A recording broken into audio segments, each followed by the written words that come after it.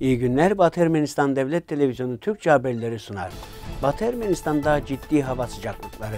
Suriye hükümet güçleri El Nusra'ya bağlı 100 saldırganı etkisiz hale getirdi. İran, Körfez ülkelerinin tümüyle görüşmelere hazır. Ermeni, Rum, Helen ve Katolik kiliseleri Tanrı'nın mezarı tapınağını restore etme konusunda anlaştı.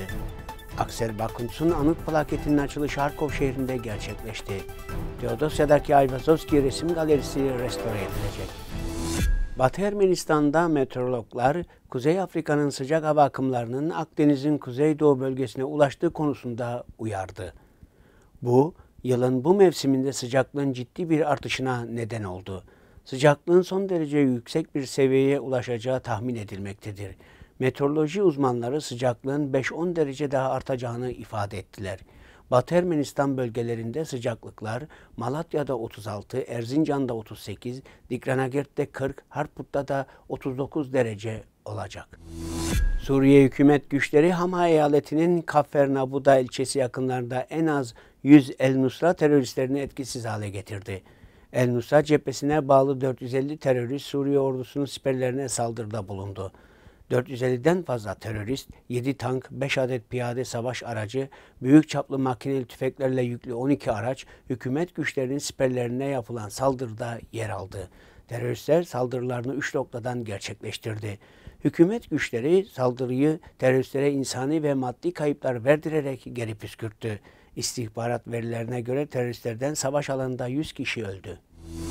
Mihir Ajansı'nın belirttiğine göre İran İslam Cumhuriyeti Dışişleri Bakan Yardımcısı Abbas Arakçı, İran, Körfez bölgesinde bulunan tüm ülkelerle dengeli ve yapıcı müzakereleri memnuniyetle karşılamaktadır, dedi.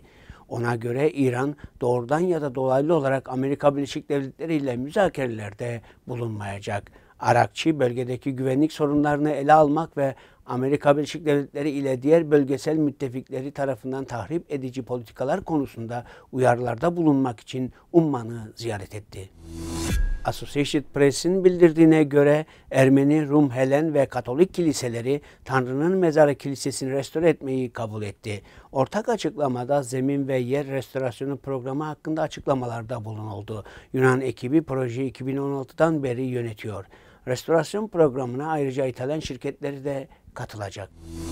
Analitika UA.net'in belirttiğine göre Ermeni yazar ve senarist Aksel Bakunts'un 120. doğum günü vesilesiyle anıt plaketinin açılışı Ukrayna'nın Harkov şehrinde gerçekleşti.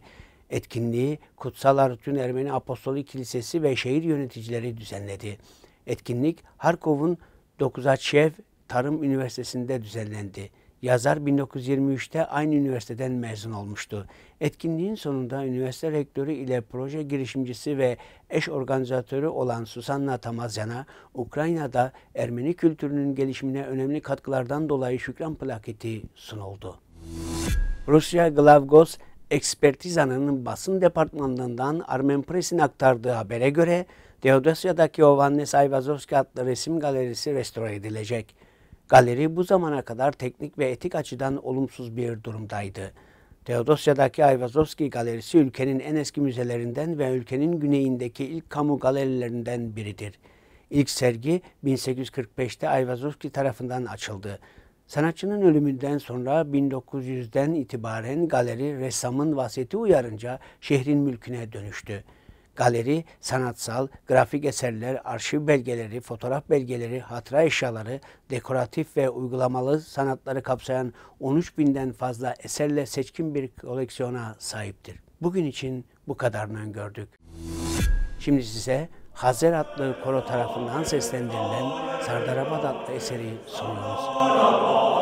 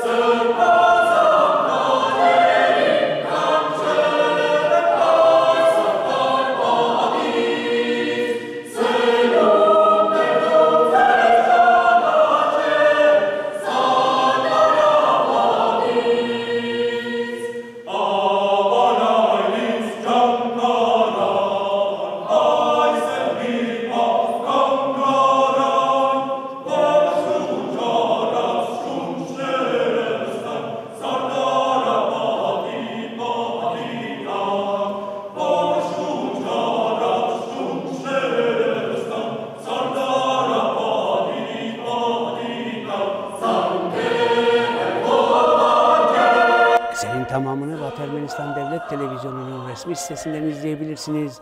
Hoşça kalın.